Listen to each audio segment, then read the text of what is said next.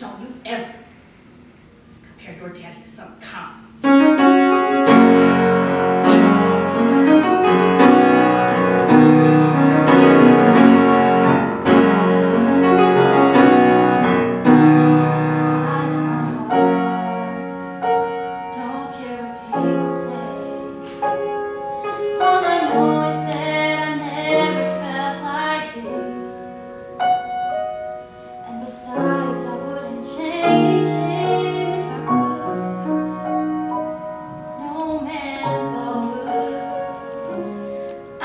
Always knew what I was taking on.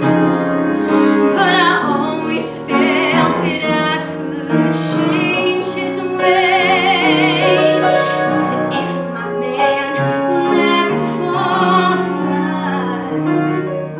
I'm glad he's mine.